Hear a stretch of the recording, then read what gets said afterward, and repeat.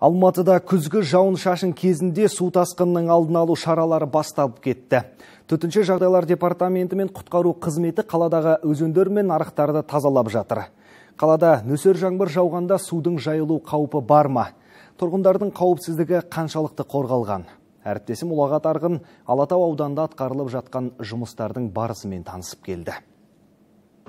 Алатау ауданына қарасты төтеншеліктер Қарғалы өзен аумағын тұрмыстық қалдықтар мен қоқыстардан тазартудан бастады. Жалпы Алатау бөктеріндегі өзендердің су деңгейі көтерілсе, қала ішіндегі бір қатар өзен аңғары мен арықтар сыр беруі мүмкін. Дені Алатау мен Наурызбай аудандарында орналасқан. Бүгінгі бірлескен жұмыстардың мақсаты да осындай қауіпсіздіктің алдын алу ауданымызда алты мекенжай бойынша әрдайым жаңбыр жауған кезде арықтар үлгермей қалады су жіберуді.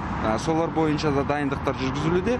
Ол дайындықтарды жаңбыр науқаны аясында әрдайым өзіміз жеке бақылауда күнделікті бақылауда алып отыратын боламыз. Жалпы аудан бойынша өзен аңғарларын тазарту жұмыстарына 125 арнайы техника мен 200 адам жұмылдырылды. Одан бөлек аудан әкімдігі 5 мердігер ұйымның көмегіне жүгінген. Ауқымды жұмыс райымбек даңғылынан бастап оңғарсынова көшесіне дейінгі 450 метрге дейін созылады. Қазан айының басында басталған тазарту жұмыстары ай соңына дейін жалғасады. Алатау бойынша үлкен өзендерден территориясы ағып өтетін жоғары оңтүстіктен басталып солтүстік бағытқа қарай.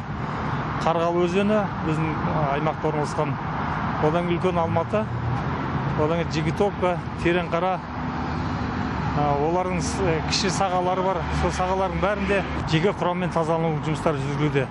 2017-2018 жылдары республикалық бюджеттен қаржы бөлініп қарғалы өзенінің төменгі сағасында су тасқынының алдын алу мақсатында арнайы бөгеттер орнатылған. Мамандар нәтижесінде ауданда жазық жерлер мен жер үйлердің су басу қауіптілігі жойылғанын айтады. Өткен жылдары біздің ауданымыз бойынша оқыс оқиғалар тіркелген жоқ бірақ та дегенмен де ауданымыздағы жеке тұрғын үйлерді кішкене су кірген оқиғалар болды. Олардың бәрін дер мезетте өз уақытында тазалап осындай жұмыстар жүргізіліп жатыр. Көше бойындағы арықтарды мердігер ұйым өкілдері күнделікті тазаласа да тұрғындар тарапынан тұрмыстық және басқа да қалдықтар ретсіз тасталатынын жасырмады. Салдарынан қоқысқа толған арықтың кесірі көп. Жаңбыр жауса бітеліп арты апатты жағдайларға әкелетіні айтпаса да түсінікті. Сол себепті сала мамандары үй жанындағы өзен аңғарларын таза ұстауға кеңес береді. Лағат арғын ялкунжан әшімжанов алматы телеарнасы.